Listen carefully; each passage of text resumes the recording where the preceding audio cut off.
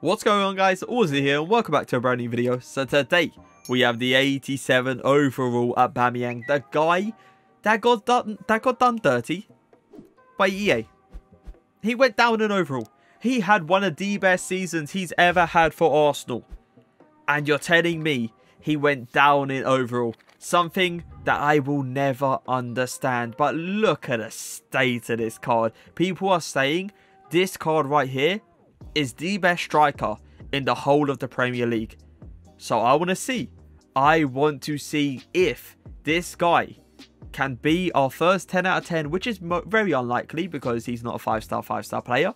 But we'll see how it goes. 93 pace, 81 dribbling, 86 shooting, 75 passing with 69 physical as well. The only thing I'll love to upgrade there definitely those dribbling stats. Now, six foot two Aubameyang. I believe the only other six foot two striker that I did a review on was Cantona, and we all know how overpowered that Cantona was. Unbelievable player. The guy scored goals left, right, and centre. The guy was amazing on the ball. He had the physicals, the pace, the shooting.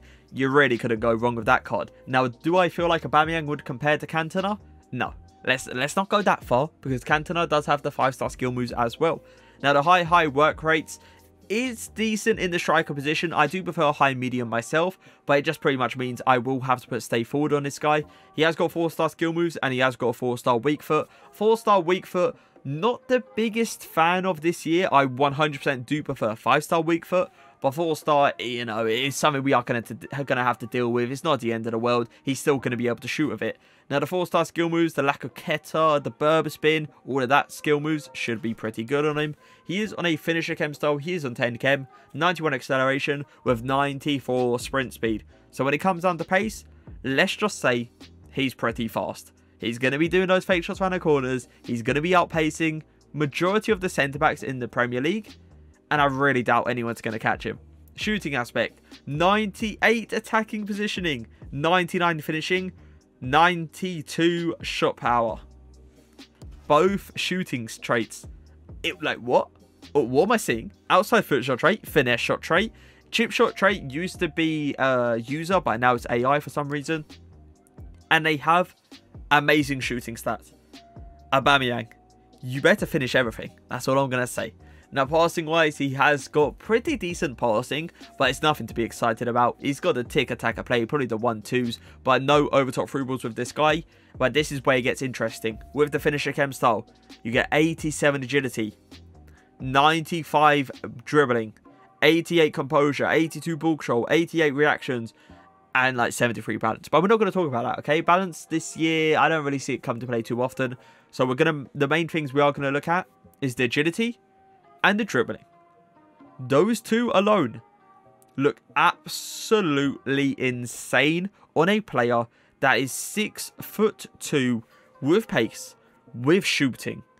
Like, I don't want to over exaggerate anything right now because we're going to see him in game and hopefully he does play like his stats. He has got 80 stamina, 74 strength, 75 jumping with the 43 aggression as well.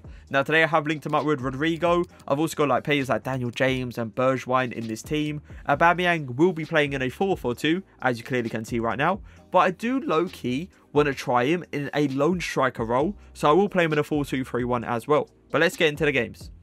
Through ball to Aubameyang. Come on, Aubameyang, use that pace. You know you're faster than him. You know you can get in front of him. Oh, ref, where's the foul there, by the way? Come on, keep going. Keep going. Shield him off there.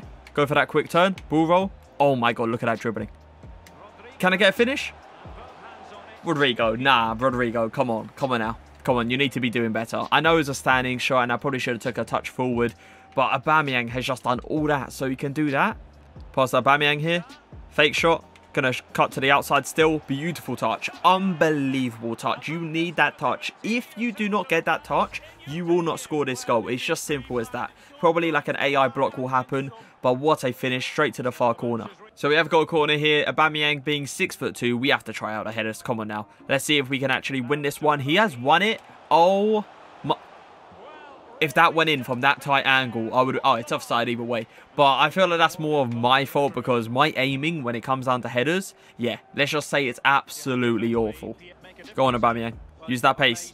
Fake shot around a corner. Get it going. Oh, come on now. It's too easy. The finesse shot coming into play with the finesse shot trait. And it is going to be a perfect finish into that far corner. That right there is a perfect example of how overpowered pace is this year.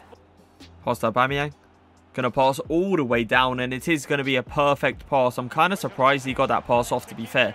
Fake shot. Just going to wait. I'm going to try to hit back stick here, but Rui Patricio perfectly positioned. Pass down to Aubameyang. I'm just going to run in a straight line. He's not going to expect it. Fake shot around a corner. Ball roll. R1 dribbling or RB dribbling. No, I tried to send him, but Tomori did well. 1-2. Get it going. Aubameyang. Gonna outpace him. Gonna go for that first time across goal finish. And Patricio once again doing absolutely amazing in goal. Aubameyang outpacing Tomori like there's no tomorrow, but that's expected. Past Aubameyang. Fake shot. Fake shot once again. Go for that near post finish and using the outside foot shot trait to its full potential and we are going to get another goal with him. Beautiful positioning by the way. I noticed he made a run at first, but he actually went straight to the edge of the box because he knew where I wanted him. Ball roll. Give it to Aubameyang. Fake shot, I like I'm going to turn. Then actually fake shot and go in between them? No. No, no, no. I've done everything perfect. Aubameyang's dribbling, I'm telling you right now, seems so, so good with the skill moves. But the fact that we couldn't get that goal there is insanely disappointing. Aubameyang. Just going to click Y ball. Beautiful pass. Beautiful touch. Fake shot. Go around the keeper. Bye-bye. Bye-bye, keeps. Where are you going this time? You made plenty, and I mean plenty of saves this game. But once you bring out the keeper, this year, it's pretty much game over. RBA all the way over to Aubameyang. Aubameyang in wide open space. I definitely did not feel like he deserved this space because those two centre-backs, I have no idea what they are doing because if you give Aubameyang this kind of space, he is going to punish you. But can we take a moment to realise how good that finish was? Weaker foot, tight angle, he's done everything perfect and he manages to get the goal. So we have a free kick here and why not at the end of the day? Let's try a shot with him. I feel like this guy's going to move the keeper. No, he's not. Okay, let's actually have a decent shot. Going to curve it a little bit. Going to green time it. It is going to be an outside foot shot. And I tell you what, I honestly thought for a second it was hitting top bins. Use that pace. Use that pace. And this is one thing you're always going to see. As soon as someone has Aubameyang, you already know what's going to happen. The person's going to run in a straight line because his pace is unbelievable. But look at his dribbling. I really do want to talk about his dribbling because look at this. Like, look at the state of that. The fact that a 6'2 player can do that kind of dribbling is unbelievable. Fake shot. Gonna turn all the way up. Ball roll. Go on to his stronger foot because I do not trust that weaker foot. That four-star weak foot, yes, you can shoot with it. But if you have the opportunity to go onto his stronger foot and turn two people at the same time, you're always going to do it. Good touch. Use that strength. Nice strength as well. I'm going to send him on a run here. Get him behind. Come on. That's against Lenglet. We all know how good Lenglet is. Fake shot. Ball roll. Wait for the perfect pass. Oh my god, an AI block. That's so annoying because Aubameyang did so well. Fake shot to the outside. That's nice. That's really nice. Ball roll in. Can I continue? The guy's giving me the ball. And when Aubameyang is on the ball and you're going to give him that chance, I was going to say he is going to finish it. But for some reason, this Lloris is pulling out wonder saves. So Aubameyang, once again, is 6 foot 2. He's decent at heading. So hopefully he can actually get his head onto this one. Oh my god, the keeper got brought out as well. It was pretty much wide open and I still couldn't get it on target. So it is time to review him. Three games played, five goals. The guy was on fire. He really was. I do feel like he could have got a few more goals if I actually felt comfortable with that weaker foot. But I really didn't. Like, I missed once and then I said to myself, I'll try it probably one more time after that, and if it doesn't, I'll consistently go onto his stronger foot. And then I tried it again, and he missed. It's just so annoying to say that a four-star weak foot is not consistent in this game. It's so, so annoying, and it just shows how important five-star weak foot is this year. Now, Aubameyang being six foot two, he definitely did not feel like a six foot two player. We saw some of the dribbling that he actually did. My God, was he fast. High, high work rates. was interesting to see because I did put stay forward on him and he still came short when I wanted him to come short. So I feel like stay forward, stay forward is definitely the way to go when it comes down to high, high work rates. The four star skill moves, the La Croqueta, literally spot on. Let's come on now. The La Croqueta this year is once again another amazing skill to get an angle. My favorite bit about him is the La Croqueta into the outside foot shot angle. It is so, so good. Now, with the pace, I would definitely give him a 10 out of 10. The fake shots around the corners are out of this world. They really, really are. And if you want to go, like, over the top, you can, if you want to, give him a Hunter Chem style. Like, if you really want that, pa that pace to really, really show. But trust me, he does not need it. Now, shooting aspect, because he has the two shooting traits, but he doesn't have a 5-star weak foot, I feel like personally, I would be maxed out at 9.5 out of 10, and that's what I'm going to give him. Because he's an outrageous finisher. Finesse shots, outside foot shot rate, power shots, everything pretty, pretty much went into the back of the net. But I can't give him that last piece to the puzzle because he has not got a 5-star weak foot. So 9.5 out of 10 for shooting. Passing ability, I will honestly say he wasn't great at doing the overtop through balls. They were very, very inconsistent. But let's all be fair. The person that will be getting over the top too, it will most likely be Aubameyang. So yeah, don't really need the over the top through balls. But when it comes down to short passing, it was consistent. I'll say that with both feet as well. So passing, I will give him, I'll give him a 7 out of 10. Now for dribbling, he felt amazing on the ball, like amazing on the ball. He didn't feel clunky. He didn't, you didn't really see his balance come into play too often.